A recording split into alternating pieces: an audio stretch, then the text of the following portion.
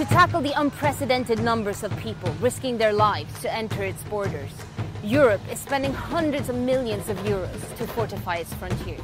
While Frontex agency is a EU agency, his, uh, the, the, mission of the agency is to help and to support member states in the uh, border management, in the management of the EU external borders, coordinate operations in member states facing difficult situations on, on certain border sections.